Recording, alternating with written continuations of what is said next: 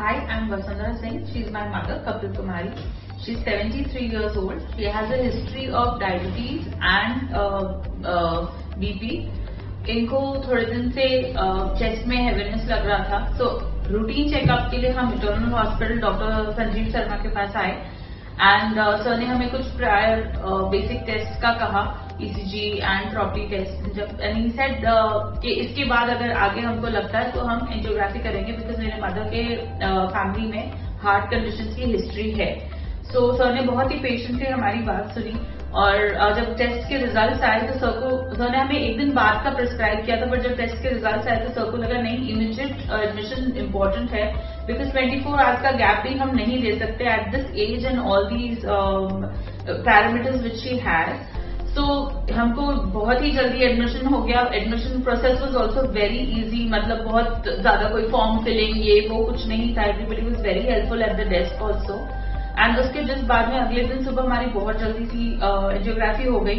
Angiography के result आते ही हमें पता चल गया था कि तीन वेन्स में ब्लॉकेजेस हैं कैल्सिफिकेशन भी है काफ़ी लंबे ब्लॉकेजेस हैं। सो so, uh, उसके बाद सर टू का चांस कि भाई हमें क्या करना चाहिए? दो ऑप्शन है हमारे पास कि भाई हम स्टंटिंग कर सकते हैं या हम बाईपास के लिए जा सकते हैं। बाईपास का नाम सुन के सबको डर लगता है बिकॉज़ कार्डिया से रिलेटेड कोई भी चीज़ बहुत ही यू नो कॉम्प्लिकेटेड होती है। तो सर से अभी मुझे नहीं लगता है कि हमको बाईपास की तरफ़ पुश होना चाहिए, जैसे नॉर्मली लोगों का सोचना होता है कि डॉक्टर तो सीधा कहेगा ओके ऑपरेशन ही करना है।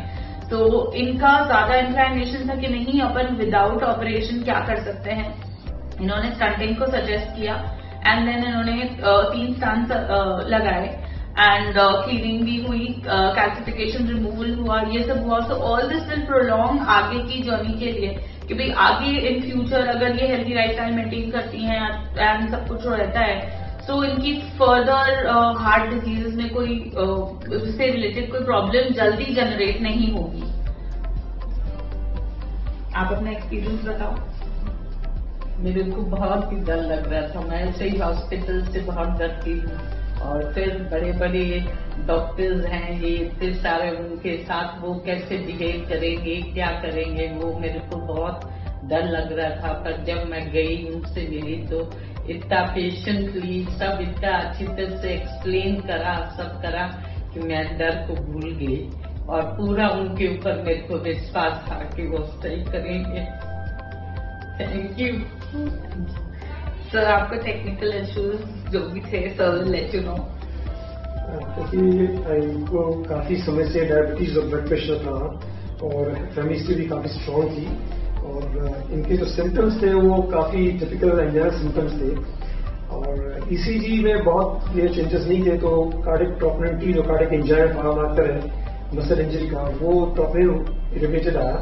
उसको देखते कि फिर हमने इनको सजेस्ट किया कि अभी कार्डिक एंजाइम बढ़े हुए हैं तो हार्ट अटैक का मार्कर है तो अपने को इमीडिएटली हॉस्पिटलाइज हो जाना चाहिए ऑब्जर्वेशन में रहना चाहिए और फिर टाइमली एंजियोग्राफी भी करनी चाहिए।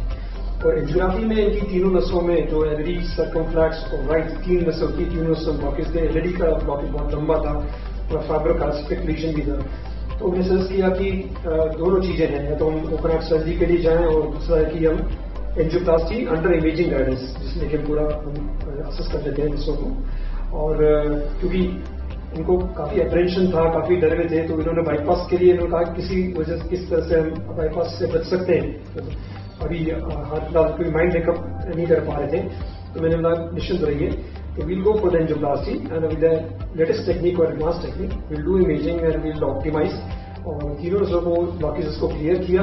मल्टीपल स्टेम्स यूज़ किए तीनों नसों को ब्लॉकेज को क्लियर किया और कैल्शियम को भी ब्रेक किया और इवेंचुअल रिज़ल्ट बंद का बहुत अच्छा था और वेरी नेक्स्ट डे सब इनके सिम्टम्स रिलीव हो गए, इनको मोबिलाइज किया और आज अभी ये डे टू ये डिस्चार्ज हो रहे हैं। मैं इनके स्वस्थ जीवन की कामना करता हूँ, हमेशा स्वस्थ रहें, अच्छे से रहें और बाकी डायबिटीज़ ब्लड प्रेशर और हार्ट की दवाएँ रेगुलर लेंगे तो मेरा मानना है फिजिकली एक्टिव रहेंगे तो आयुष गुड हेल्दी लाइफ है। Thank you thank you doctors